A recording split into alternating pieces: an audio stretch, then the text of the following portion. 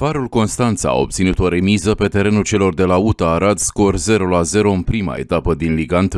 Am băgat și tineri care au intrat, au făcut și ei cât au putut. După aceea am băgat jucătorii care au venit mai târziu la pregătire, care nu sunt încă 100%.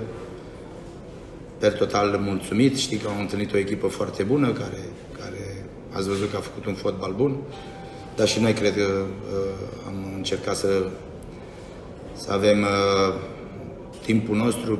Antrenorul celor de la FC Farul are însă și nemulțumiri. Prima repriză am avut un penalti clar. Deci nu penalti clar, ceva care și din, din America se vede.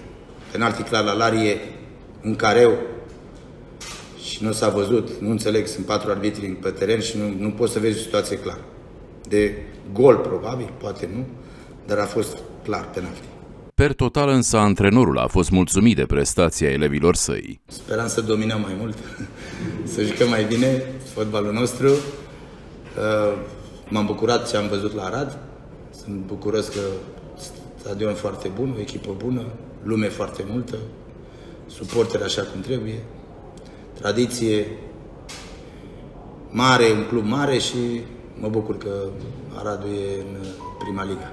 În ultimul sfert de oră al partidei, Farul a evoluat cu doi jucători minus. Dusu a fost eliminat în minutul 70, iar Dănuleasa a părăsit terenul în minutul 78 după o accidentare gravă.